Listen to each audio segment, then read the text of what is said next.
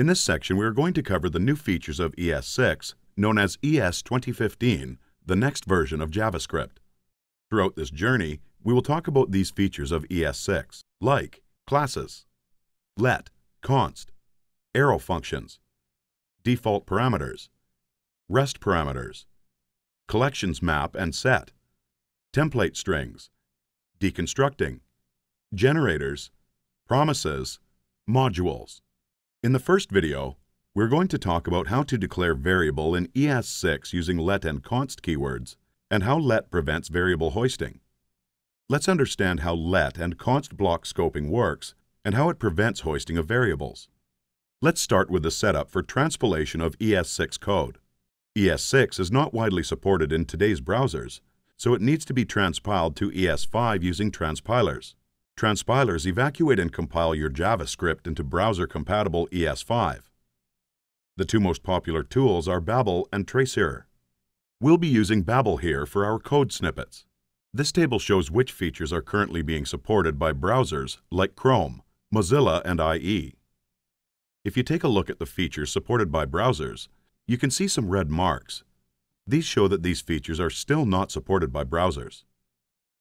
That's why we need Transpiler, which can transpile ES6 to ES5.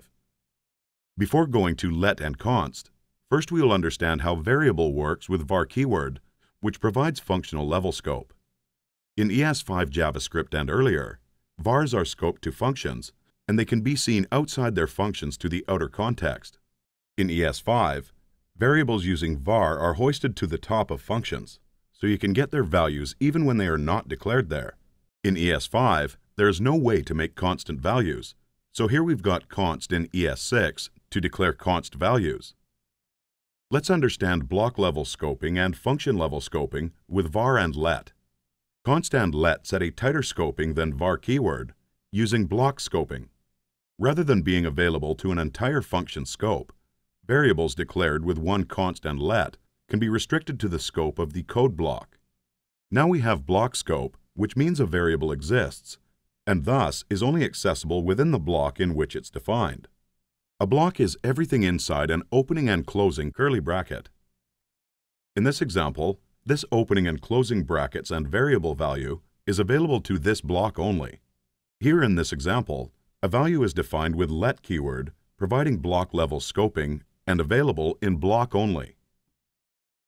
Let declaration syntax, same as for var. Replace var with let to keep its scope to current code block. Let variables aren't hoisted to the top of the enclosing block and end up destroyed once execution flows out of the block. Here in this example, we are using var keyword, and it's available outside block as it's available in function. The first console is giving hello world, and the second is giving undefined, as values are available outside the if block.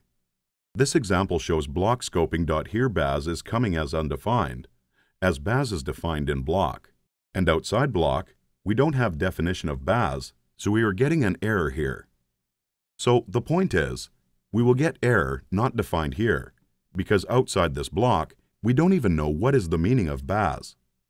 Let's talk about const, which is also providing block scoping. The difference is, its value can't be changed once set, and every const variable must be initialized. Const prevents modification of the binding and not the value itself. Let's understand the difference using this example.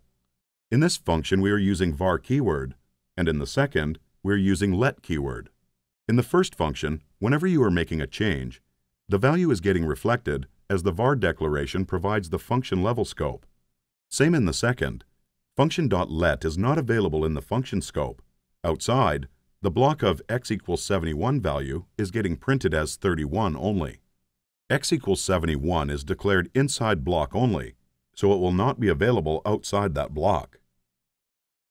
In the first function, x equals 31, and then we changed it to 71, so we will get x equals 71. In second function, x equals 71 is declared inside block, so we will get x as 31 only.